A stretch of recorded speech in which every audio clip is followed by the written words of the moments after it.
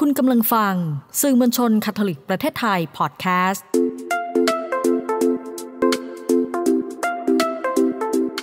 ซ่อนไว้ในจังหวะชีวิตพอดแคสต์ที่จะพาให้คุณไปพบกับคุณค่าที่ซ่อนไว้ระหว่างการเดินทางชีวิตกับคุณพ่ออนุชาชัยเดช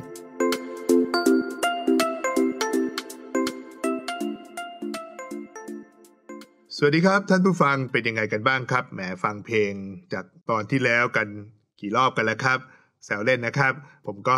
เป็นความชอบส่วนตัว แต่เชื่อว่าความชอบส่วนตัวก็น่าจะมีความเป็นสากลบ้างครับ วันนี้ท่านผู้ฟังหลายท่านก็คงรอสักหน่อยนะครับว่าเอวันนี้จะมาหาเพลงอะไรให้ฟังกันครับ เราอยู่ในธีมเพลงรักที่จมลงในท้องทะเลแห่งความทรงจำนะครับ เพลงรักเหล่านี้ครับ ถูกรื้อฟื้นขึ้นมาฟังอีกครั้งหนึ่งครับ ในฤดูกาลแห่งความรักในเดือนแห่งความรักเดือนกุมภาของเรานี่เองนะครับ วันนี้อยากเสนอชื่อในตอนที่ว่าการกลับมาของความรักนะครับ การกลับมาของความรักแสดงว่าความรักเดินหายไปหรือเปล่า หรือบางทีความรักถูกทิ้งร้างไว้ให้อยู่เพียงลำพังครับ บางคนคิดว่าความรักกับเรื่องศาสนาเป็นคนละเรื่องนะครับ จริงๆแล้วความรักเป็นคำสอนหลักของศาสนาคริสต์ด้วยซ้ำไปนะครับช่วงที่ทำรายการ Power of Love ใหม่ๆ ในปีต้นๆ พอปีที่ 2 ของรายการนะครับ ก็ คิดอะไรไปเรื่อยๆ มาเจอเดือนกุมภาพันธ์ เป็นเดือนแห่งความรักก็เลย เอ๊ะ จะทำยังไงให้ผู้ชมเนี่ยนะครับ ต้องบอกก่อนนะครับว่ารายการ Power of Love เป็นรายการทีวีคาทอลิกซึ่งตอนต้นๆที่เราเข้าไปอยู่ในช่องวันบ้าง ช่อง TNN twenty-four บ้างอะไรต่างๆนะครับ แล้วก็ค่อยๆ ถอยกลับมาตอนนี้ก็เหลืออยู่ในช่อง YouTube รายการยังเหลืออยู่แต่ก็ปรับตามสภาพนะครับ แต่ว่าณวันนั้นครับ ปีประมาณ 2016 นะครับ ในช่วงของเดือนกุมภาพันธ์ครับ ก็เลยอยากจะจัดอะไรๆที่มันพิเศษครับ ก็นึกถึงคู่แต่งงานของคาทอลิกนะครับ ทั้งคู่รุ่นใหญ่แล้วก็คู่วัยรุ่นนะครับ ตอนนั้นก็คู่รุ่นใหญ่ก็เชิญอาจารย์ประเสริฐ ตอนนี้ก็เกษียณแล้วนะครับ ตอนนั้นท่านทำงานอยู่ที่สภาการศึกษาคาทอลิกแห่งประเทศไทยนะครับ แล้วก็เชิญอาจารย์แป้ง ซึ่งตอนนั้นผมก็ได้ไปร่วมงานแต่งงานนะครับ สินกล่าว ที่วัดกระวาในช่วงนั้นก็เพิ่งแต่งงานนะครับ แต่ก็เป็นลูกศิษย์ลูกหากันนะครับ ก็เชิญมาสัมภาษณ์ครับ แล้วก็เลยนึกถึงคู่แต่งงานอีกเยอะแยะไปหมดเลยครับ ก็อยากให้มีบรรยากาศนะครับของการแต่งงานคริสชน ก็เลยให้ทุกๆคู่เนี่ยนะครับ ส่งรูปเวลาที่รับสินกล่าวเข้ามา ส่งรูปคู่เข้ามาร่วมสนุกกันนะครับ ทีนี้มาสนุกกับอะไรครับ ในรายการก็เลยนึกสนุกครับ ก็แต่งเพลงขึ้นมา 1 บทนะครับ เป็น บทเพลงสั้นๆนะครับ เล่นกีตาร์เองนะครับ แล้วก็เพิ่มวาไรตี้ของดนตรีเข้าไปด้วยการเชิญสบุตรคนหนึ่งนะครับ อยู่ที่วัดซอยร้อยหนึ่งนะครับ ก็พอดีรู้ว่าเขาสอนดนตรีเรียนดนตรีจบดนตรีนะครับสถานภาพล่าสุดก็เห็นว่า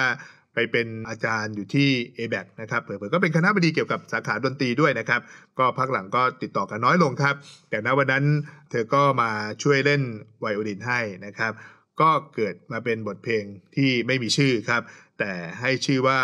ความรักก็แล้วกันนะครับ แล้วก็คำแรกของบทเพลงนี้ก็ขึ้นมาว่าคำว่ารักคำเดียว เปลี่ยนแปลงเรื่องราวมากมายลองฟังกันดูนะครับ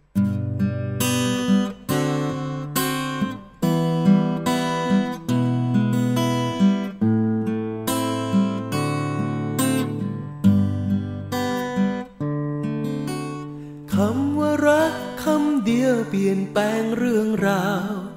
มากมาย และบทสุดท้าย ไม่มีใครรู้คำว่ารักยังเดินติดตามไม่ห่าง และคำชู โปรดจงรู้ มั่นใจในกันและกันคำว่ารักคำเดียวเปลี่ยนแปลงเรื่องราว มากมาย และบทสุดท้าย ไม่มีใครรู้คำว่ารักยังเดินติดตามไม่ห่าง และคำชูโปรดจงรู้ มั่นใจในกันและกัน แม้จะนานเท่าใด แม้จะสุขหรือคมเศร้า รักยังคง ปูทางระหว่างเรา ไม่มีข้อแม้ใดๆ มีแต่ใจของกันและกัน เราจะฝากคืนวันเอาไว้ที่เธอ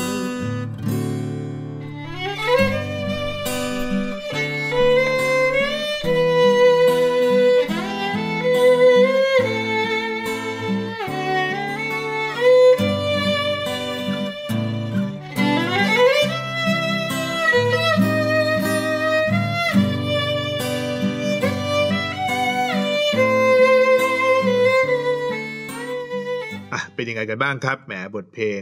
หวานๆ สั้นๆคำว่ารักคำเดียวเปลี่ยนแปลงเรื่องราวมากมาย แต่บทสุดท้ายไม่มีใครรู้นะครับ ในวงคาทอลิกของเราครับ เมื่อจะรักกัน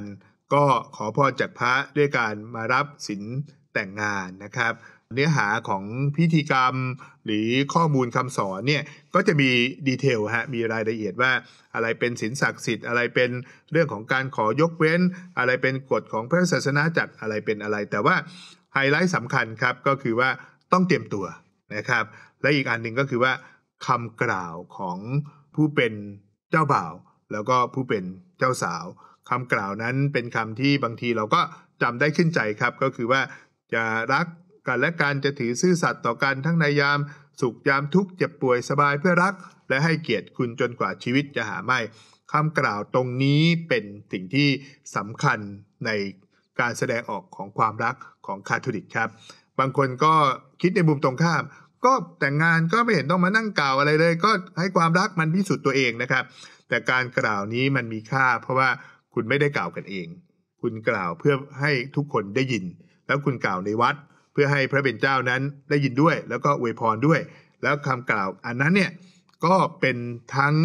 สิ่งที่เป็นไม่ใช่คำสัญญาอย่างเดียว แต่ก็เรียกว่าพันธสัญญาเป็น covenant นะครับเพื่อให้ทั้งสองคนเนี่ยถือ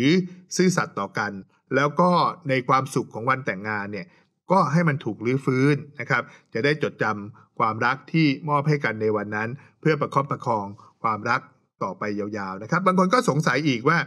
โอ้ยถ้าอยู่กันไม่ได้ จะซูซี่อยู่ไปทำไมเพราะว่าเงื่อนไขของสินแต่งงานก็คือว่าต้องคู่เดียว สามีเดียว ภรรยาเดียว แล้วก็ต้องให้ตายจากกันไปถึงจะเลิกลานะครับ มันก็เป็นเรื่องของการประคับประคอง ความตั้งใจ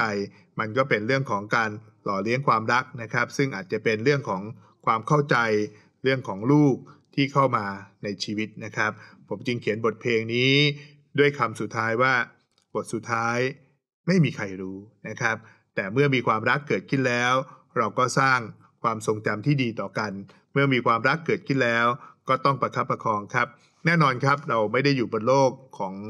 อุดมคติหรืออุดมการนะครับ ความรักเป็นสิ่งสวยงามก็จริง แต่ทุกๆวันของการปฏิบัติความรักก็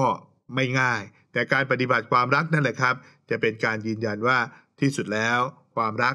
มีจริง ใช่ไหม ที่สุดแล้ว ความรักเป็นสิ่งที่ งดงาม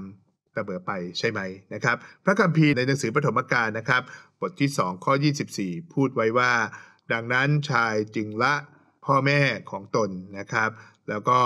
มาอยู่กับภรรยาและเขาทั้งสองจะเป็นเนื้อเดียวกันครับ พระคัมภีร์พูดไว้แบบนี้เพื่อเป็นกำลังใจให้แก่กันและกันนะครับ ทั้งชายและหญิงที่มีความรักให้รักษาความรักนั้นไว้ และเวลาที่เราเห็นพ่อแม่ของเรา ปู่ย่าตายายของเรายัง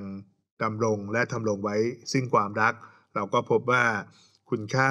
ที่สูงสุดของมนุษย์ที่มอบให้แก่กันและกันได้ ก็คือความรักนั่นเองนะครับ ถ้าความรักหายไปดึงความรักนั้นกลับมาครับ เพราะว่าความรักสามารถเปลี่ยนแปลงเรื่องราวมากมาย ความรักที่จมลงไปในท้องทะเลแห่งความทรงจำนึกถึงความทรงจำดีๆ และงดงาม เพราะว่า ความรักช่วยต่อเติมลมหายใจของกันและกันต่อไป ยินดีกับคู่รักทุกๆทท่านนะครับ ที่ยังรักษาความรักนั้นไว้ได้ แล้วก็ยินดีกับคู่รักบางคู่ที่อาจจะเลิกลากันไป แต่ยังมีมิตรภาพที่ดี